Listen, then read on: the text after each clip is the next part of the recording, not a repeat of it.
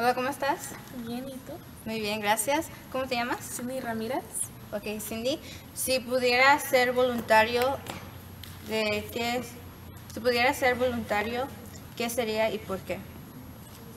Si pudiera ser voluntario sería ayudar en la misa, como siempre me dedico unas veces a ayudar y eso es lo que pues soy buena en ayudar. Ok, muchas gracias.